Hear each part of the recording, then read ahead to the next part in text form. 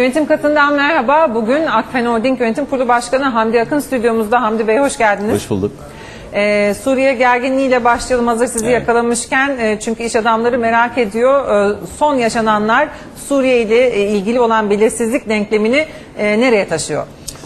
Evet yani e, Suriye aslında bugün gündemimizde olan bir şey değil. Hepinizin bildiği gibi aşağı yukarı bir senedir Türkiye Suriye ile uğraşıyor ve e, Batı e, ekonomistleri de aslında bu olayı yakından izliyorlar ve e, Türkiye'ye bugün yabancı sermaye gelmekte birazcık elini yavaş tutuyorsa burada Suriye'nin rol- rolü, e, Kürt meselesinin rolü ve Kuzey İran rolü çok fazla.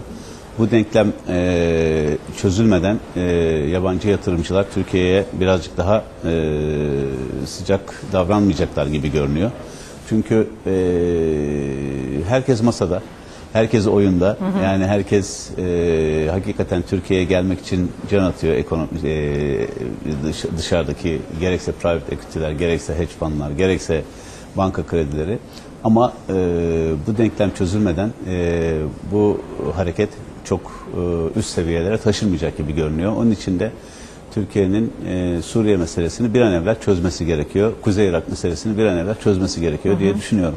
Yani bu e, son dün akşam yaşananlar nereye taşıdı sizce? Yabancı akşam- bakışını merak evet, ediyoruz o yani yüzden. şimdi şöyle ki dışarıdan görünüşü bu işin zaten Türkiye'nin burada bir başrole soyunduğu şeklinde.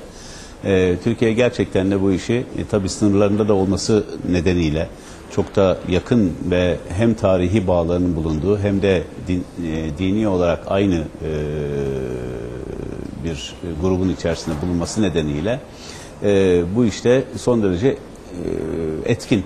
Ama e, şu var ki e, bu her ne olursa olsun Kuzey Irak meselesiyle beraber mütalaa ediliyor.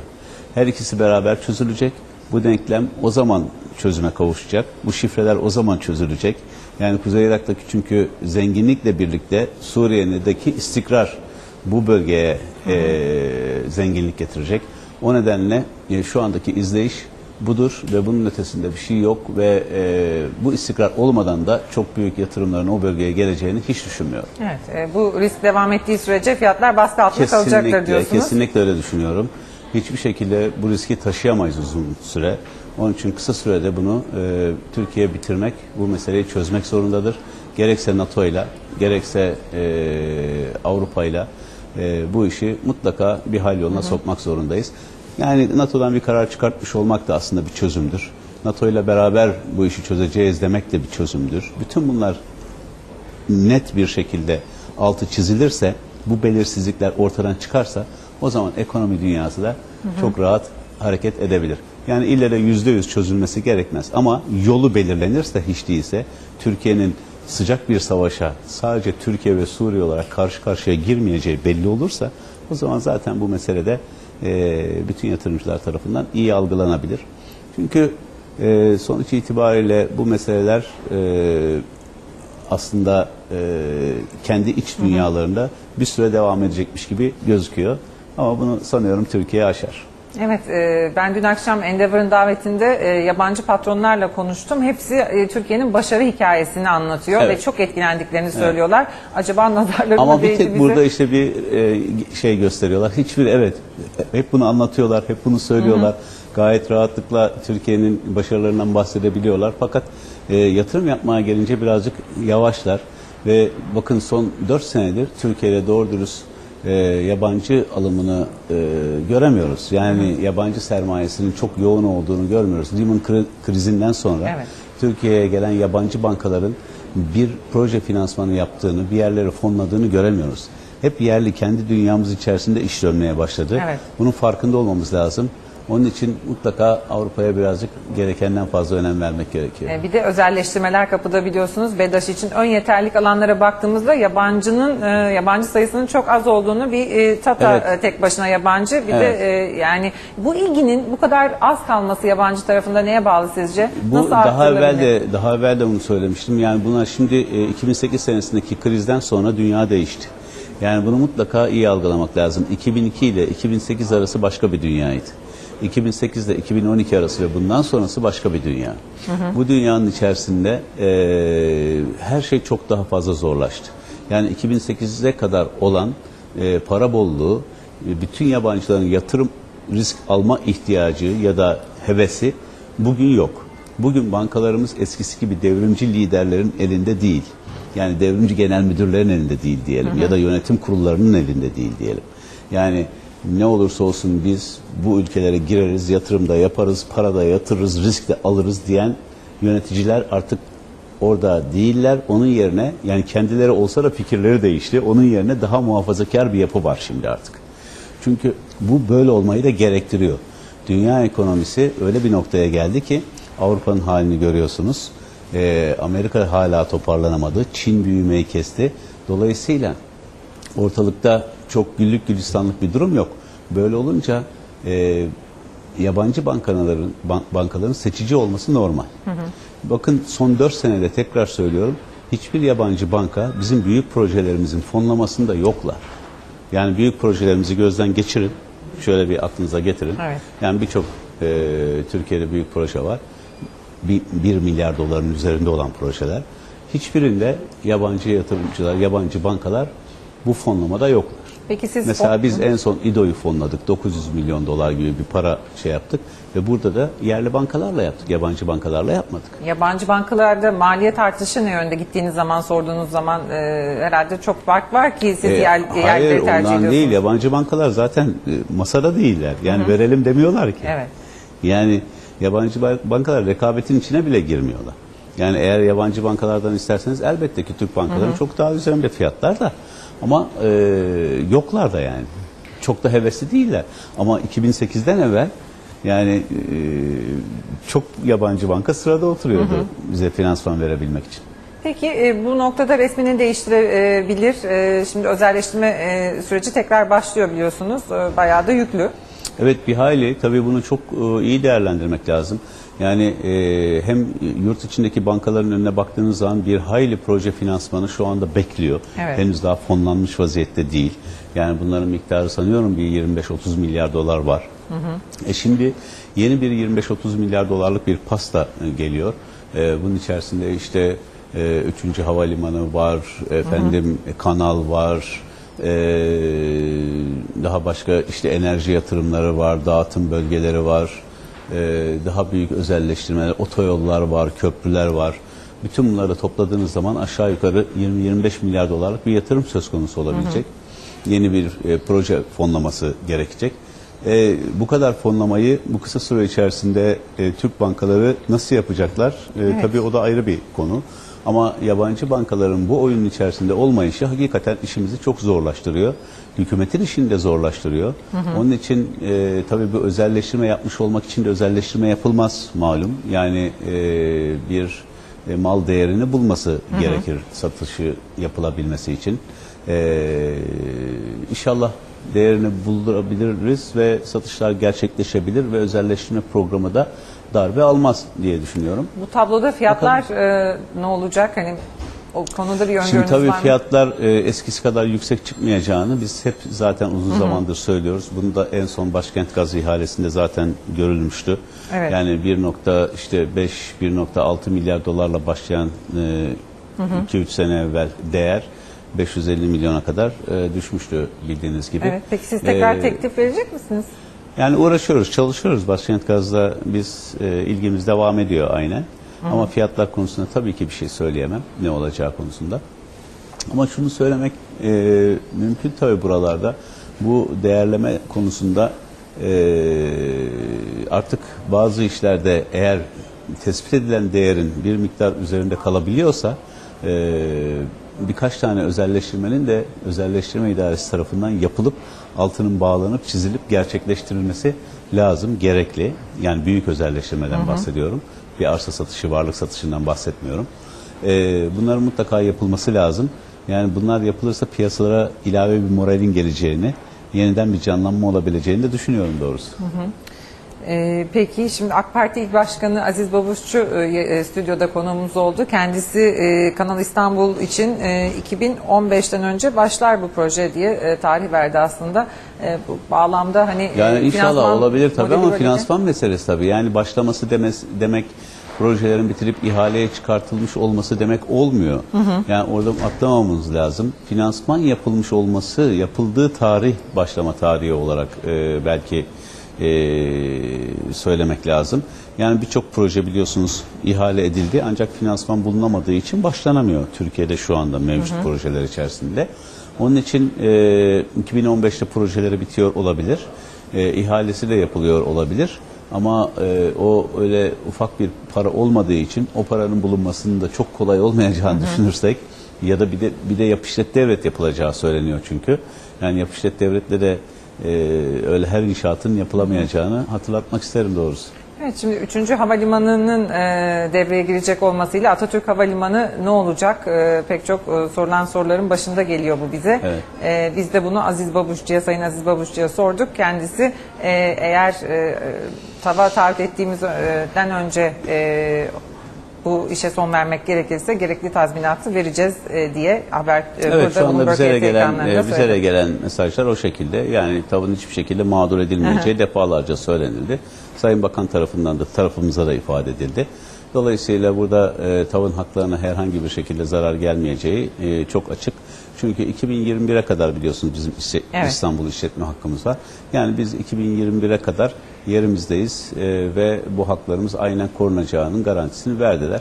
E, biz çünkü 2021'e kadar kiralamıştık zaten Atatürk Havalimanı'nı. 3 milyar dolara almıştık ve bu 3 milyar doların da yüzde sanıyorum 22,5'unu peşin olarak ödemiştik. Yani Evet. bir malı kiraladığınız zaman ve parasını da yani 15,5 yıllık e, kira bedelinin yüzde y- 22,5'unu peşin verdiğiniz zaman zaten orada e, bütün hakkı almış oluyorsunuz 2021'e kadar. Dolayısıyla e, tazminat konusu evet eğer erken biterse 3. havalimanı e, diyelim ki 2018'de bitti. 3 yıllık bir e, tazminat söz konusu olacak. Diyelim ki 2019'da bitti. 2 yıllık olacak. E, ama ben e, yani böyle bir tazminat e, konusunun iki taraf tarafından da çok rahatlıkla çözülebileceğini düşünüyorum. Onun için çok büyük bir sorun yok. Peki. Yani biz de zaten e, ihaleye girmek ve ihaleyi yap- e, yapan firmalar arasında yer almak için uğraşlarımızı sürdürüyoruz. Eğer mantıklı bir şekilde e, olur da finansmanını yapabileceğimiz, hiçbir zaman onu unutmayalım, finansmanını yapabileceğimiz bir noktada olursak işe talip olacağız. Evet 3. E, havalimanı konusunda iddialı olduğunu da e, biliyoruz Şüphesiz tabii. onu zaten Sahne Bey Evet, açıklamaları Sahne Bey yapıyor, açıkladı. söylüyor. Ee, Bloomberg iddialı olduğumuzu-. Evet ama e, onu tekrar söylemekte yarar var. Yani her şeyin yapılabilmesi, finansmanın yapılabilmesine bağlı. Yani işin kabul edilebilir büyüklükte olması lazım. Yani e, bugün Türkiye işte çok büyük bir havalimanını tek seferde yapalım. Yani 100 150 milyon yolcu tek seferde yapalım ve 15 milyar dolarlık bir yatırım yapalım falan derseniz bunun finansmanı yapılamayacağı çok açıktır. Ama e, bunları step step yapalım derseniz e, bu olacak. Ki Ulaştırma Bakanlığı'nın da benimsediği yol budur. Dolayısıyla birazcık daha e, çözümü olabilecek bir iş gibi gözüküyor. Evet.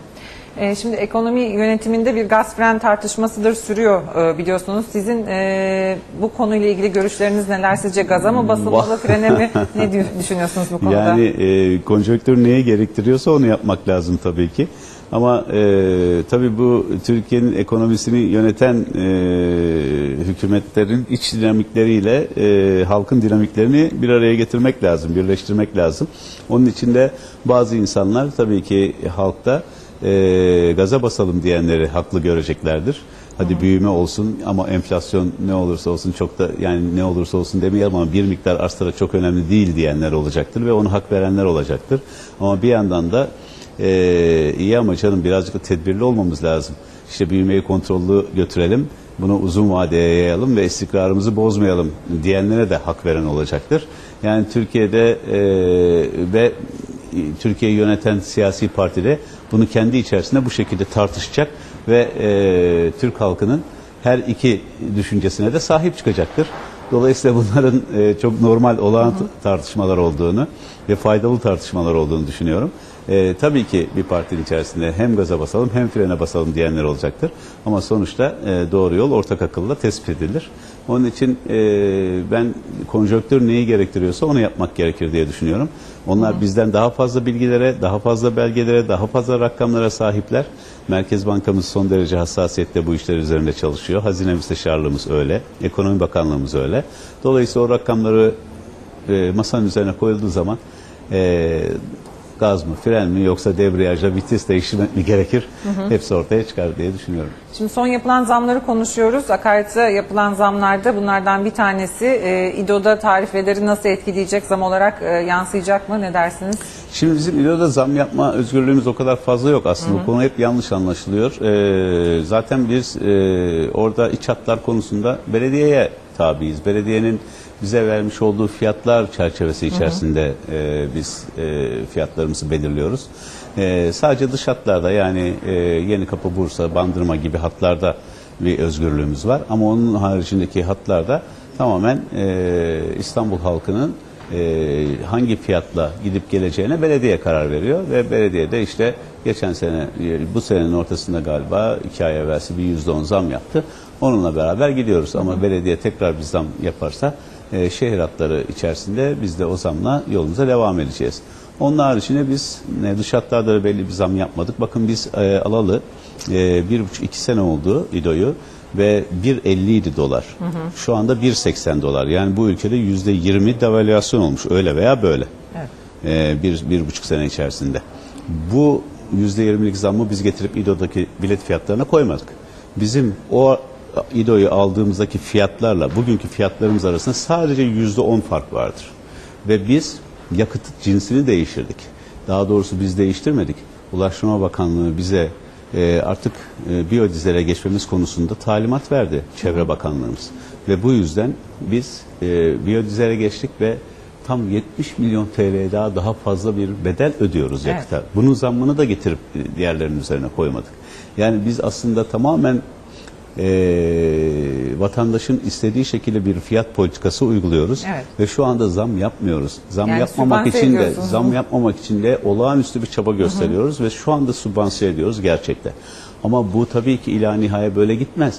Çünkü e, eğer bir ülkede enflasyon varsa ki e, geçen sene yüzde ona yakın bir enflasyon vardı. E biz burayı nasıl saklayacağız bu enflasyonu? Hep biz mi göğüsleyeceğiz? Yani firmalar enflasyonu göğüsleyemezler. Bunun mutlak suretle vatandaşa yaymak zorundadırlar. Hükümetler de göğüsleyemezler. Zaten hükümetler ve firmalar eğer e, enflasyonu göğüsleyebilmiş olsalardı hiç vatandaşla bir dertleri olmazdı. O zaman seçimde oy kaybetmezlerdi. Her şey güllük gülistanlık olurdu. Ama neden hükümetler enflasyonu durdurmaya, dizginlemeye çalışırlar? Oy kaybetmemek için. Halkı ezdirmemek için enflasyona. Öyle değil midir? Yani enflasyonla mücadele ne için vardır? Halk için vardır. Evet. E o zaman e, TAV orada göğüslüyorsa, İDO burada göğüslüyorsa, efendim TÜPRAŞ öbür tarafta göğüslüyorsa hükümetler e, o zaman hiç enflasyonla mücadele etmezler. Firmalar alırlar enflasyonu, subvansiye ederler. Böylelikle de halkın üzerine hiçbir şey gelmez. Böyle bir düşünce tarzı olamaz. Dolayısıyla bu konu e, bir miktar daha subvansiye edilebilir ama bundan sonra tabii ki gelecek eğer bir devalüasyon, bir enflasyon, e, dolardaki artış, yakıttaki artış bunlar hepsi e, tabii ki elbette e, ister istemez fiyatlara zam şeklinde gelecektir. Peki tablo böyleyken, bir de rekabet kurumunun başlattığı bir inceleme var İDO ile ilgili. O konu hakkında ne diyeceksiniz? o e, uzun zamandır vardı. O konudaki çalışmaları sonuçlandı e, benim bildiğim kadarıyla. E, herhangi bir sorunumuz yok rekabet kuruluyor. Çünkü zaten bizim e, rekabet ettiğimiz bir yerde yok. Onun için, o nedenle bir sorun yaşamıyoruz.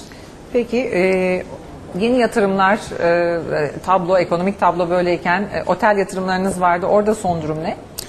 Valla otelde aşağı yukarı biz şimdi e, 19 sayısını bulduk. Yani bir dahaki senenin sonuna inşallah 19 otelimiz olmuş olacak. Yani Karaköy'e başladık.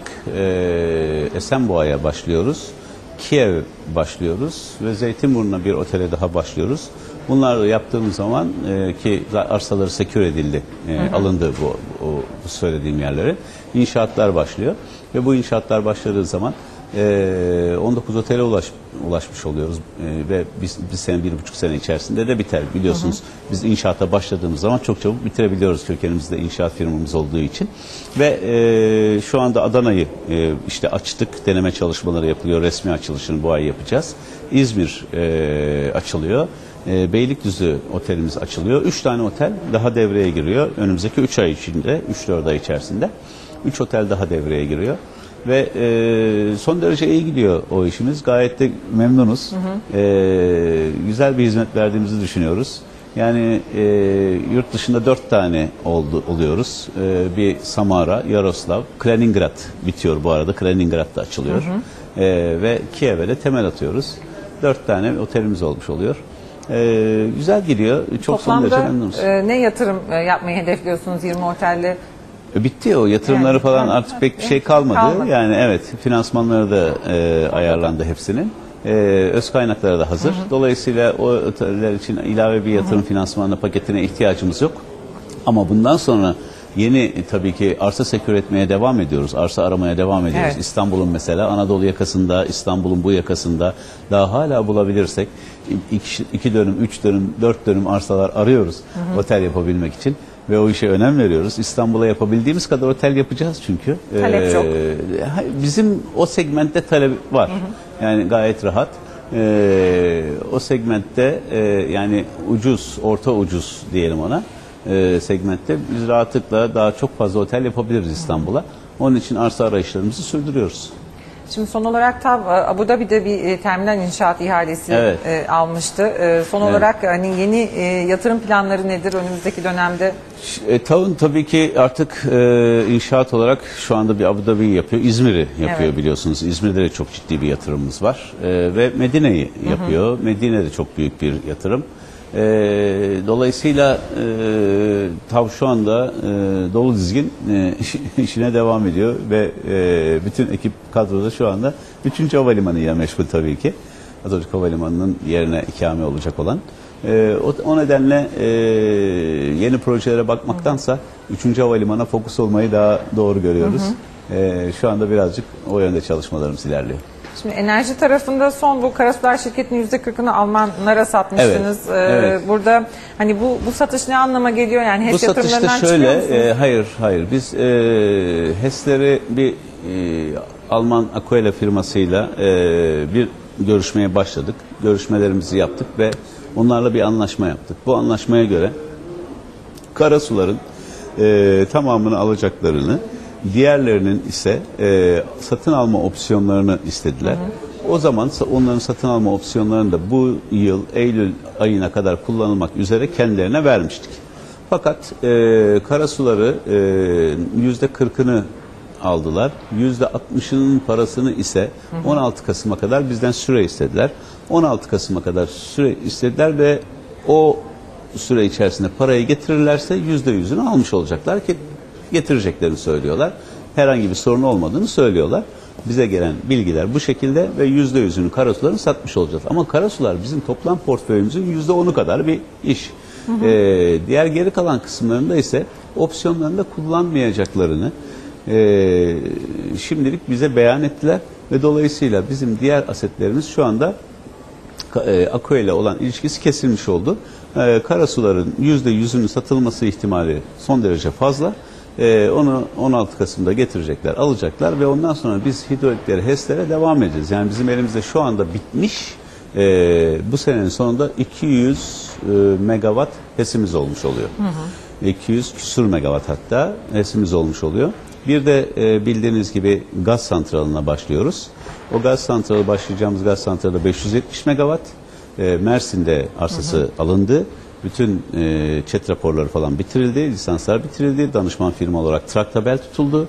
Traktabel'le anlaşmamız yapıldı. E, Alstom'da e, başka bir anlaşma yapıldı. Onlar e, bir trafo merkezi kuruyorlar orada bize. E, o anlaşmalar yapıldı ve onun da inşaatı başladı. Yani fiilen o işte başladı. İnşallah 2015'lere bir 570 megawattlık gaz santralımız olacak. Yani enerji tarafında üretim tarafına daha Üretim iddialısınız. devamında devam ediyoruz aynen o şekilde. Tabii ki fırsatlar olursa enerji tarafında gene devam ederiz. E, dağıtımlar konusunda şu anda biraz mütereddidiz. Yani dağıtımlar konusunda birazcık daha e, beklemedeyiz diyelim. E, ama e, Mersin'de yapıldığı için bizim e, gaz santralımız Mersin Toros çıktığı Evet. zaman belki ilgimiz oraya olabilir. Peki e, konuşmayı unuttuğumuz yatırım kaldı mı? O kadar e, şöyle bir ufuk tur attık yani sizle. e, siz sordukça ben söylüyorum. Peki Hamdi Bey çok teşekkür ediyorum. Süremizin sonuna gel- Peki, e, ben geldik. teşekkür ederim. E, Çok mersi. Yönetim katını burada noktalıyoruz. Kısa bir reklam arası ardından devre arası devam edecek. Bizden ayrılmayın.